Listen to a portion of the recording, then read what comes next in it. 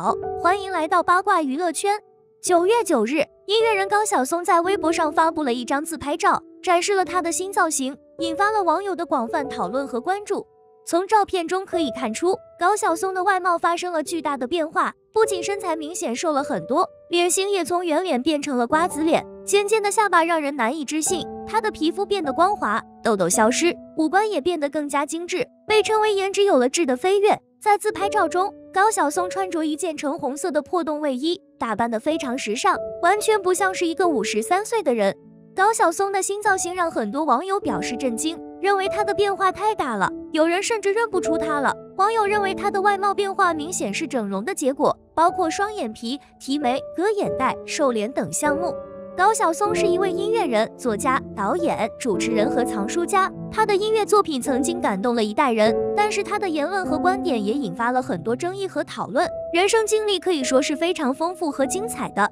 高晓松出生在一个书香世家。父母都是清华大学的建筑学教授，外祖父是深圳大学的首任校长，堂舅父是清华大学的电子学教授。从小就受到了良好的教育和熏陶，也展现出了超群的才华和个性。后来他考入了清华大学，但因为对音乐的热爱，最终选择了退学，并进入了北京电影学院学习电影。在此期间，他写下了《同桌的你》这首经典歌曲，也开始了他的流浪歌手时期。凭借《同桌的你》一曲。高晓松获得了巨大的成功和赞誉，被誉为校园民谣的代表人物。接住他又创作了《恋恋风尘》《雷》等歌曲，也获得了各种金曲词曲奖。他与宋柯共同成立了麦田音乐，并出版了个人音乐作品集《青春无悔》。高晓松不仅是一个音乐人，还是一个作家和导演。游历欧美各国后，完成了小说《写在墙上的脸》和剧本《那时花开》，还导演了电影《那时花开》，并与认识仅三天的沈欢闪电结婚。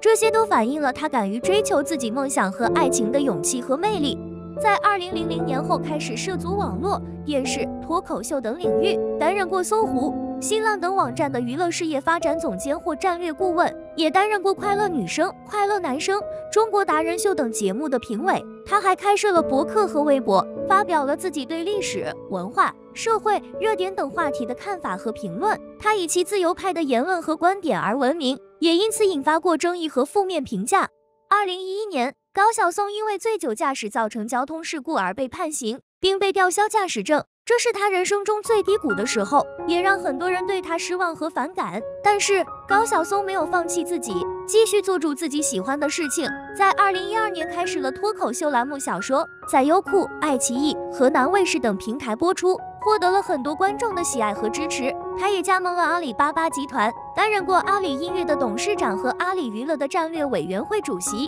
二零二一年，高晓松遭到了中国大陆的封杀，作品和节目被下架，微博和微信也被封禁，因为他被认为是历史虚无主义的代表人物，一些言论和观点被指违背了中国的主流价值观和民族情感，这让很多人对他感到惋惜和遗憾，也让很多人对他感到愤怒和厌恶。总的来说，作为一个公众人物，高晓松无疑是想要给自己和观众带来新的形象和感觉，但是在追求美丽和时尚的同时，也要注意保持自己的个性和风格，不要失去自己的特色和魅力。无论他是否做了整容，都不应该影响观众对他的音乐和作品的欣赏。毕竟他是一位音乐人，作品给很多人带来了感动和启发。希望他能够保持自己的风格和魅力，继续创作出更多优秀的作品。今天的视频就到这里了，喜欢的点赞、留言、加关注，我们下期再见。